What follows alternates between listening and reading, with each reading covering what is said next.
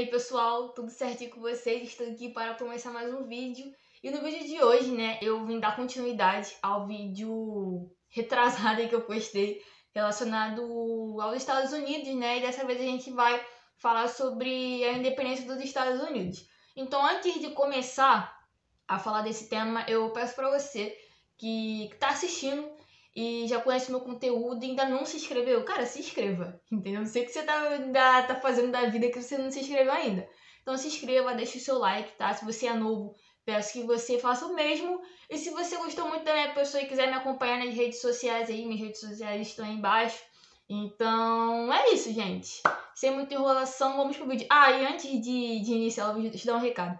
Desculpa se o áudio sair é, baixo, porque deu um problema no meu microfone tá saindo com zumbido. Então, entre você escutar um áudio com zumbido e um áudio baixo, eu prefiro escutar um áudio baixo. Então, eu vou tentar falar mais alto para ver se o áudio fica um pouquinho mais alto, tá bom? Então, desculpa por isso aí. Vamos pro vídeo.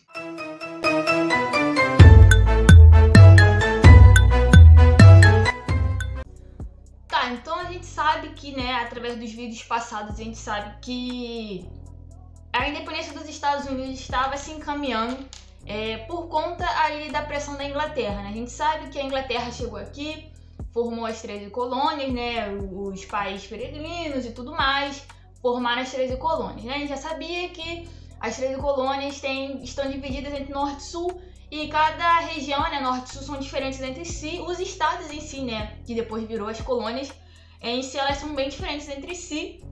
Então a gente vai ver isso que vai permanecer depois da independência, né? Porque as colônias vão virar estados e mesmo assim esses estados eles vão continuar sendo diferentes entre si. Até hoje os estados eles são diferentes. Cada cada estado tem sua lei, cada estado tem sua ordem. Então a gente também viu que a Inglaterra estava pressionando demais as colônias, né? Depois que ela saiu da Guerra dos Sete Anos, ela saiu vitoriosa, porém falida. Então ela viu nessas 13 colônias a oportunidade de tirar um dinheirinho. Então começou várias leis, né? Lei do selo, lei do açúcar, a lei do chá, que ficou famosa, né? Pela questão do, da festa do chá de Boston. E também teve vários massacres, né? O, o massacre de Boston e tudo mais. Então veio uma série de, de problemas que a coroa estava é, arrumando com as colônias. Então a gente viu ali que os colonos eles começaram a tentar se organizar é, e se unir, né? Unir forças, já que as colônias eram tão diferentes, esse momento era de união para tentar dar um jeito na coroa. Então eles começaram a se reunir, né? Foi aí que nasceu o primeiro Congresso Continental da Filadélfia. Então, o primeiro congresso a gente viu que não era para uma separação, e sim para uma conciliação com a coroa e pedir o fim dessas taxas absurdas e tudo mais. Então, a princípio deu certo e depois o rei voltou a ser ruim de novo com eles, então veio aí o segundo congresso. No segundo congresso a galera ainda tava meio, pô, será que a gente se separa? Será que não? A gente espera um pouco. Mas é, a questão da independência era inevitável. Já estava no, no, no senso comum e na cabeça da galera de essa questão de, de separar. E foi aí que nasceu o, o senso comum também, né? Que um inglês que estava aqui participando dessa, dessa parada toda, vendo o que, que a Inglaterra estava fazendo, ele fez um, é, um panfleto é, público ele falou, ah, galera, e aí, vocês vão ficar de, de maluquice? Vocês vão ficar obedecendo a ordem desse rei que tá lá não sei aonde? E aí, vamos nos separar logo e acabou. Então, esses dois congressos, mais esse senso comum, mais essa questão da independência que estava no imaginário popular, juntou tudo e a galera falou: é, tá na hora de se separar mesmo. Então, aí no dia 4 de julho de 1776, é, a Declaração de Independência ela ficou pronta, né? Thomas Jefferson e companhia participaram ali dessa elaboração e ali eles puderam dizer: estamos independentes. Mas é aquela coisa, né? Igual foi o caso do Brasil. Não adianta nada a gente só falar, estamos independentes, Portugal, Inglaterra, estamos independentes, você não manda mais aqui. A gente não é mais uma colônia de exploração. Não adianta.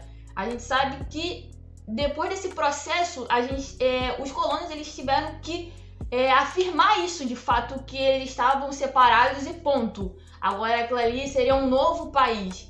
Então, depois disso, desse grito de independência, dessa declaração feita, eles enviaram para o rei o rei simplesmente olhou e falou: Eu não vou aceitar isso aqui, dane-se vocês.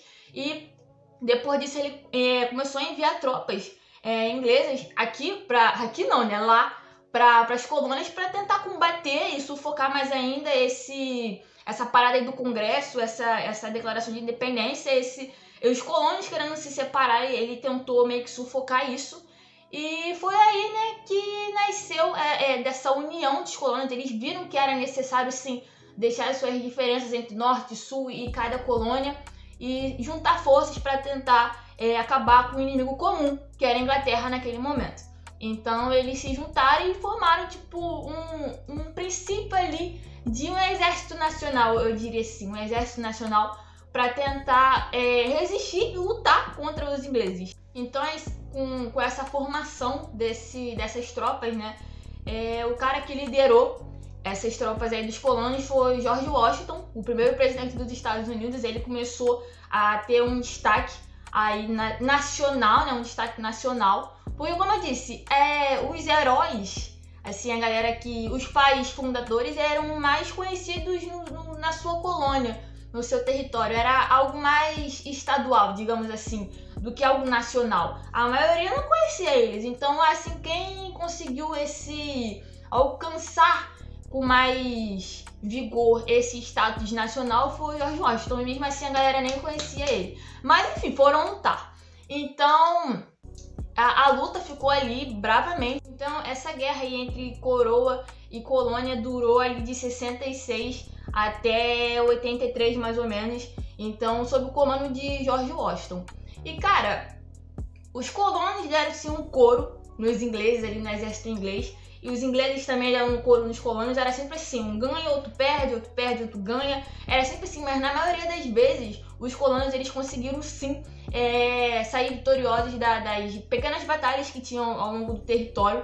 E contaram também com a ajuda dos franceses, dos holandeses e dos espanhóis nessa luta aí, que a gente vai ver que depois que a luta, né, a guerra acabou, é, eles ajudaram, mas em troca de, de terras, né? Eles não iam ajudar de graça os Estados Unidos, vamos dizer assim. Depois o território ficou dividido entre o, o novo país, né? Os Estados Unidos, e um pedacinho ali do, dos espanhóis, um pedacinho ali dos franceses, né? O Canadá e tudo mais.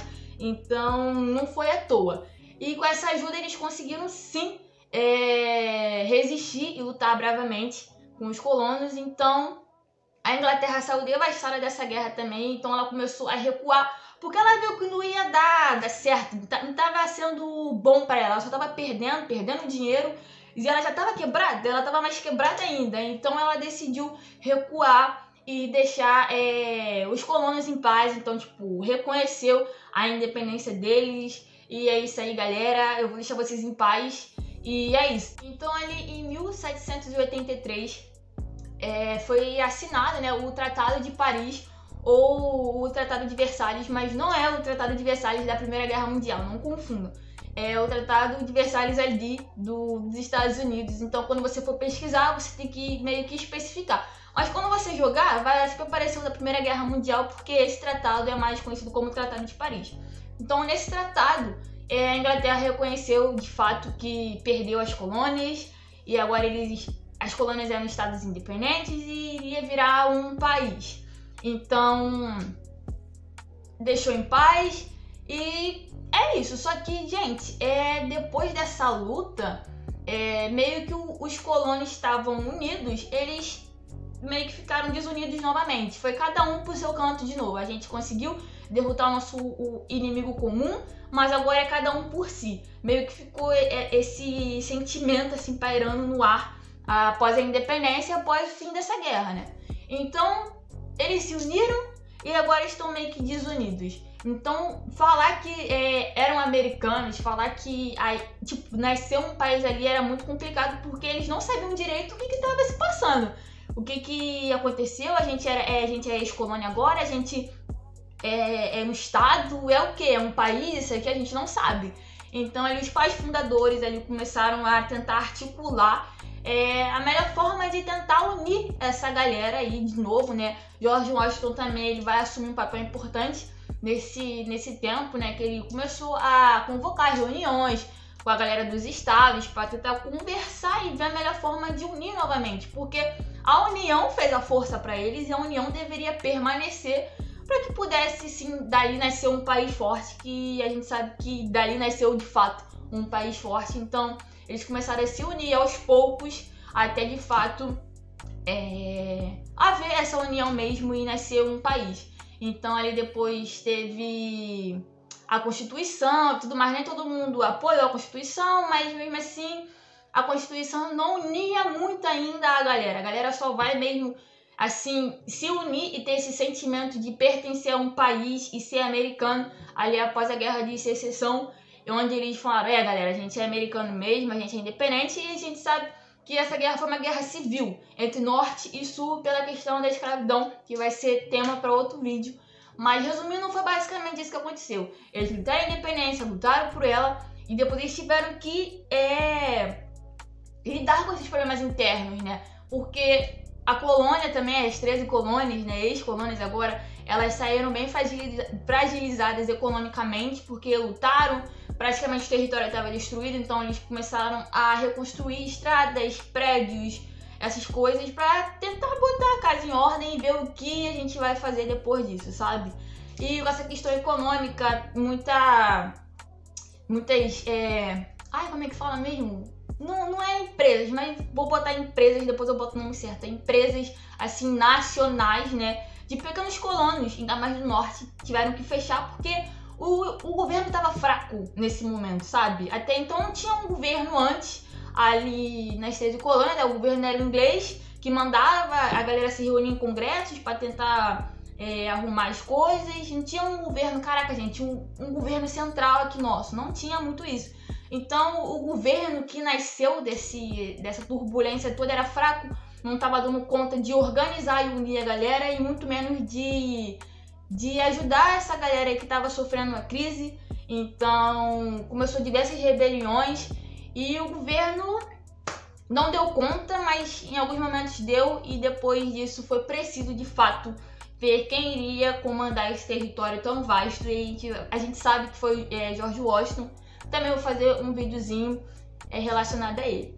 Ah, e sem contar que com essa questão da, da independência, mais ou menos a Inglaterra reconheceu isso, sabe? A Inglaterra que, perdeu né, as 13 colônias e os aliados que lutaram, né, contra, contra os ingleses, né, os franceses, holandeses e espanhóis meio que reconheceram essa independência americana. Mas os outros países meio que tipo, mano, uma república nasceu do meio de. Sim, porque naquela época tava só monarquia, correto? Só monarquia aqui e ali, e do nada uma república. Uma república nasceu lá do outro lado do mundo, lá nas Américas. Ué, mas que negócio estranho.